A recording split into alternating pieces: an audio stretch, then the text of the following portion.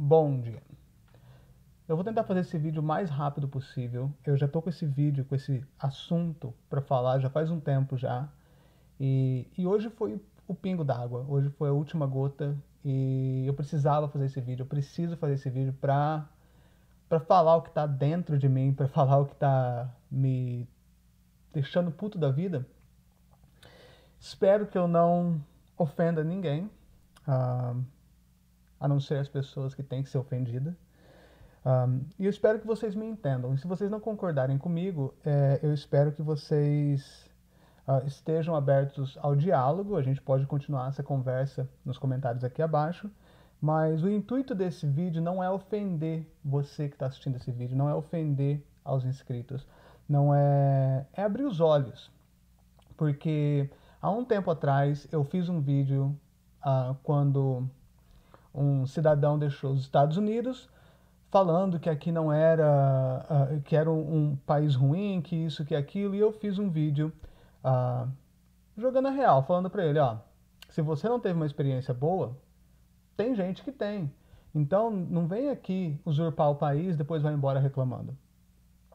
Depois teve um outro cidadão que eu fiz um outro vídeo que ele estava explorando os brasileiros, ele ele vende aí cursos, promete ficar rico, síndrome de, de político brasileiro, né? Tem, uh, ele tem uma oratória muito boa e ele vende vários cursos aí na internet por, sei lá, 1.500 dólares, 3 mil dólares, promete que o brasileiro pode investir aqui, conseguir green card, vir ficar rico, isso e aquilo, promete rios e fundos, acho que é isso que fala.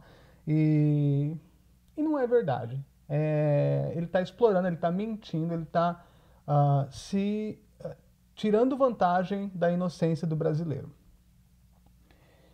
que quer sair do país porque a situação política e econômica do Brasil não tá aquelas coisas. Então ele, ele viu nessa, nessa, nessa necessidade do brasileiro uma oportunidade e tirou vantagem e pelo jeito está conseguindo frutos, né? Apesar de fazer vários vídeos aí com carro alugado, casa que não é dele, casa alugada, uh, como se tivesse o rei na barriga, mas vai ver, não, não possui uma cama para dormir. Mas tudo bem.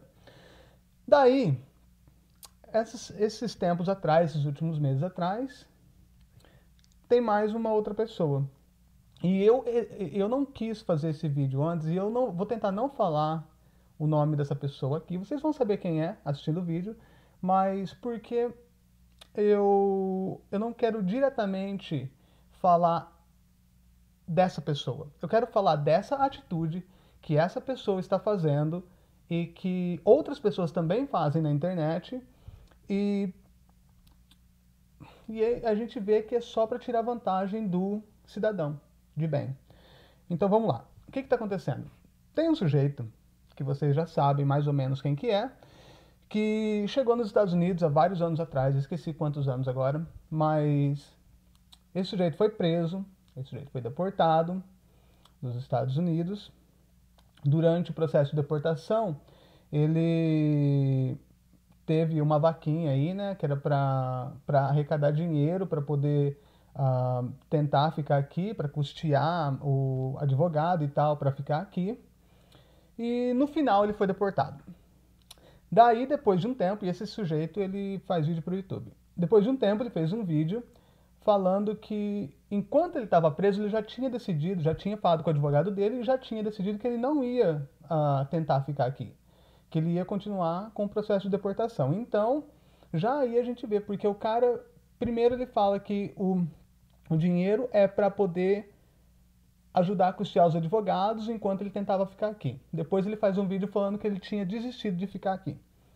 Então, aí já começa a incongruência dos fatos. Porém, vamos dizer que vamos dizer que sei lá, que é um erro de interpretação meu e que ele teve vários custos com advogado e que ele precisou usar esse dinheiro para pagar o advogado que tentou tirar ele, mas não conseguiu até o final e tudo mais. Daí ele volta para o Brasil. Tô até respirando fundo aqui porque Eu estou tentando pensar para não falar besteira. Mas ele volta para o Brasil. Ele volta para o Brasil e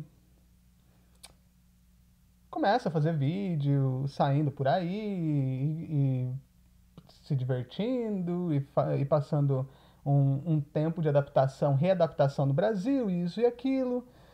E daí ele começa com uma ideia de fazer palestra. Fazer palestra com os inscritos, palestra com os fãs. E essas palestras é para ensinar como para responder perguntas sobre os Estados Unidos. Daí eu penso, o cara, o cara veio para cá, ilegal, pelo México, foi pego no primeiro dia que chegou nos Estados Unidos, teve uma ordem de deportação, ficou fugido da ordem de deportação por sei lá quantos anos, foi pego pela imigração, foi preso, ficou não sei quanto tempo preso, foi deportado e ele dá palestra de como como viver nos Estados Unidos. É tipo uma situação dessa para mim é tão esdrúxula. É como se eu fosse numa palestra de uma feira ensinando sobre sexo. Uma palestra da Dilma ensinando como ser uma boa presidente.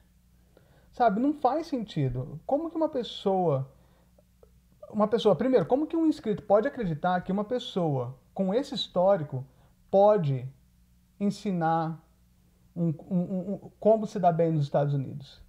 Talvez não seja isso o, o, o, a intenção da palestra, mas, sabe, você pediria conselho de, de sei lá, como ser um bom filho para, como que é o nome da menina? Suzane, sei lá, como que é o nome dela lá? Aquela que assassinou os pais. Você pediria o, você pediria, sei lá, conselho de sexo para uma, uma freira? Conselho de como ser um bom político para Dilma? Então, sabe, eu, eu, eu acho, e eu não quero que esse vídeo fique longo, eu tô tentando aqui, vai ficar mó chato, porque eu detesto ficar tendo que pensar para falar.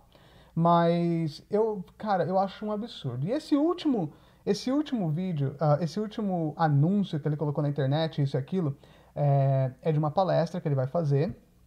E digamos que vai custar aí 250 reais e tem lugares para 60 pessoas. Que isso foi, foram as informações que ele colocou. Daí eu estava pensando. E ele, e ele colocou também no, no anúncio que esse custo é só para cobrir os custos do evento, porque ele está fazendo. É, é, uma ação filantrópica. Olha aí, já, já é o papo de político. Isso que me dá nervoso, isso que me dá raiva uma, uma ação filantrópica. Por quê? Porque ele, ele não vai, provavelmente não vai estar recebendo nada desse dinheiro, né? Coitadinho. Então vamos lá. 250 reais a 60 pessoas são 15 mil reais. E a palestra são só de duas horas, tá? Quem que consegue no Brasil hoje em dia trabalhar duas horas e receber 15 mil reais? Daí você fala, mas Fábio, tem custos, tem outros custos. Então vamos deduzir os custos, tá? Então vamos lá, eu até fiz umas anotações aqui. Pensa bem, se ele for da cidade dele para o local da palestra e tiver que pagar uma passagem, sai mais ou menos aí, uma pesquisa rápida que eu fiz na internet, sai mais ou menos uns 100 reais a passagem aérea, se ele for de avião. Se ele for de ônibus, é uns 40, mas vamos colocar uns 100 reais. Então, tá? Daí, vamos dizer que ele não conheça ninguém nesse lugar onde ele vai fazer a palestra, que ele não vá ficar dormindo no sofá de ninguém, que ele vá ficar hospedado num hotel, ele vai estar tá pagando aí uns 100 reais a diária. A não ser que ele queira ficar num Copacabana Palace da vida, né? Mas se ele for ficar num, num hotel que é um pouquinho melhor do que a, a, a cela da imigração que ele ficou, então vai sair uns 100 reais por dia. Uns 100 reais por dia, 200 reais. Então a gente tem aí 100 reais de avião, 200 reais de diária, sai 300 reais. Daí ele falou também que precisa de uma equipe. Eu concordo. Quando você faz um evento assim para 60 pessoas, precisa de uma equipe. Você precisa de gente para pegar ingresso, gente para te servir cafezinho, para servir água, para dar instrução e tudo mais. Então, digamos que ele contrate três pessoas para essas duas horas. Vamos falar que as pessoas vão trabalhar mais que ele, porque tem que arrumar, tem que organizar tudo. Então, três pessoas para esse um dia de palestra vai sair aí uns 150 reais por pessoa. Então, dá 150, 300, 450. Mais os 300, que é a hospedagem e a passagem, sai 750 reais. 750 reais. Vamos dizer que ele vai levar alguns amigos para almoçar. Então ele resolve pagar aí uns 250 reais de almoço. Sai mil reais. Mil reais. Total de gasto até agora. Daí vamos dizer que tem alguns outros imprevistos aí e ele resolve, por algum motivo, ele tem que pagar, ah, sei lá, mais 500 reais de alguma coisa aí. Então, sai 1.500 reais. Só aí, ele ainda está ganhando 13.500 reais para trabalhar duas horas. Daí vamos dizer que esse dinheiro não é todo dele, que ele tem um sócio e é dividido 50-50, 50%, 50%. 50%, 50% vai sair aí mais ou menos 13 mil, vai sair 6.500 reais cada um. 6.500 reais para um que para o cara que trabalhou duas horas. Quem que ganha 6.500 reais no Brasil? Para quê? Para ele por duas horas sentar e responder perguntas que vocês acham no, no, Google, se vocês procurarem, que vocês acham em grupo de Facebook, porque eu tenho certeza que nenhuma resposta que ele vai dar nesse evento vai ser diferente do que se você acha na internet. Eu tenho certeza que nenhum, nada que ele falar ali vai ter uma receita mágica de como você vai chegar e entrar nos Estados Unidos. Porque se nem ele soube como fazer, imagina se ele vai ensinar você a fazer. Então, basicamente, ele está ele tá ganhando 6.500 reais não para te dar nenhum conteúdo, mas, sei lá, para tirar uma foto com você, sei lá, para pagar de celebridade. Então eu tô puto. Eu tô puto porque eu vejo muita gente, sabe, o desespero do, do, do, do brasileiro tentando sair do país, tentando achar um lugar melhor, tentando melhorar de vida e ele. E o cara vai pagar. O cara vai pagar porque ele está desesperado, porque não tem como viver no Brasil. Está difícil viver no Brasil. A política e a economia do Brasil está cada vez pior. Então chega um cara aí com promessa, rios de promessa, falando que vai, que vai, cara, que vai te ajudar a, a se dar bem nos Estados Unidos, seja por uma palestra no, no Brasil ou uh, vendendo um curso na internet que vai te, te fazer o melhor investidor em, em imóveis nos Estados Unidos, e o brasileiro compra. O brasileiro compra porque o brasileiro tem fé. O brasileiro é um povo que tem fé. E o brasileiro e as pessoas aprenderam isso muito rápido e aprenderam a explorar isso muito rápido. E daí a gente começa a ver na internet esse tipo de pessoa tirando vantagem. E se vocês me perguntarem o porquê que eu dei tempo no YouTube, pelo tanto de tempo que eu dei, foi por causa disso. Eu estava cansado de ver não só o Muamba fazendo as muambices dele, mas os muambitos dele vir nos meus vídeos e brigar comigo porque eu tentei alertar eles. Agora eu quero ver um, um muambito que comprou o curso dele vir no meu vídeo e falar: ah, eu fiquei rico. Porque não fica. Eu quero ver, eu, eu faço um desafio, uma, uma pessoa que vá em uma dessas palestras aí, vir no meu canal e, e eu deixo até fazer um vídeo, vim fazer um vídeo e falar assim, ó, eu me dei bem nos Estados Unidos porque eu fui nessa palestra. Essa pessoa me ensinou isso que me fez me dar bem nos Estados Unidos. Que, e é por isso que eu, que eu tô bem hoje. Não acontece. Sabe? É, e isso é parte da cultura. A, a, a cultura uh, de, de acreditar no futuro melhor. Sabe? O brasileiro ele faz bem isso. Ele acredita que tudo vai melhorar. E e vai. O brasileiro falando, né? E eu creio que vá, mas eu acho que que vocês precisam abrir os olhos para esse tipo de gente, tá? Eu não vou falar do, do conteúdo do canal dessas pessoas porque eles têm alguns conteúdos bons, tá? Tanto um quanto o outro, quanto os três. Eu comentei de três pessoas aqui, Uh, eles têm alguns conteúdos bons. Eles têm alguns conteúdos que mostram como é o dia a dia aqui, que são conteúdos bons que às vezes até eu compartilho. Mas eu acho que vocês precisam abrir os olhos para esse tipo de esquema. Sabe? Eu acho que vocês têm questionar mais. O que, que essa pessoa. É sério, é, é verdade o que essa pessoa está tá me prometendo?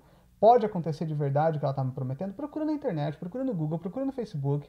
Uh, e vocês vão ver rapidinho que, às vezes, eles estão vendendo conhaque de alcatrão. Não, como que é? Catraca de canhão por conhaque de alcatrão? Gato por lebre?